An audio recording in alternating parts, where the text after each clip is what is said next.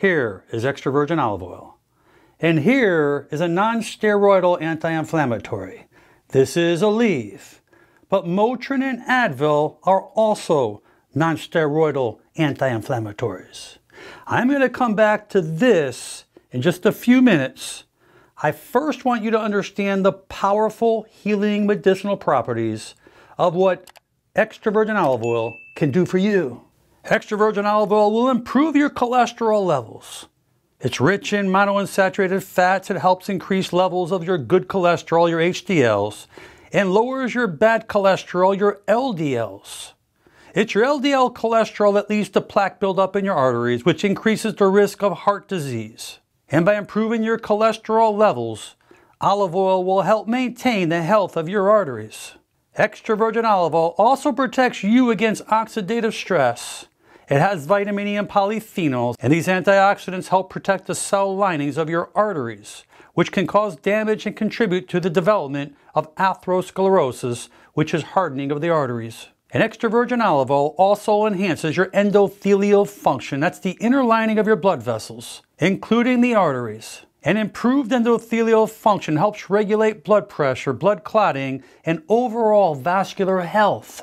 Now here's what's important. Extra virgin olive oil has oleocanthal. It's a powerful natural antioxidant that reduces inflammation. This inhibits enzymes in the body that produces inflammation. And the nonsteroidal anti-inflammatories like Aleve, Motrin, and Advil also inhibit enzymes that produce inflammation. The difference is this is dangerous and this is healthy. And what is so important about nonsteroidal anti-inflammatories? They affect the kidney. If you have any type of kidney problems, kidney disease, this can cause a significant, serious problem that you really need to be concerned about. Also, Non-steroidal anti-inflammatories like Aleve, Motrin, and Advil also cause gastrointestinal problems as well to your stomach as well as your intestines. Remember, ibuprofen is your Advil and Motrin. Naproxen is your Aleve. And every problem, disease, pathology in our body that goes on is all going to have inflammation. If it's heart disease, inflammation within the arteries that can cause that clogging of the arteries, diabetes, which is high blood sugar, cancer, we have autoimmune diseases, or any other problem that goes on. Yes, even conditions related to the joints that have inflammation is going to cause pain and dysfunction. Ibuprofen has been comparable when it comes to the oleocanthal that's already natural in extra virgin olive oil. So the question here is that by taking a tablespoon or two tablespoons a day, either in a tablespoon and swallowing it down or in your food throughout the day, that would be your best option.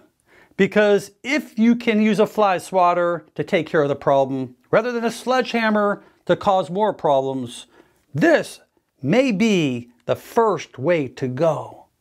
That's my opinion, although I want you to be aware that all drugs have side effects. And if you're taking these drugs with other medications, that can even make it worse. Just remember the powerful healing effects of extra virgin olive oil, not only for your pain and inflammation, but for your heart, your arteries, your cholesterol, your immune system, your brain, your liver, and all other organs as well.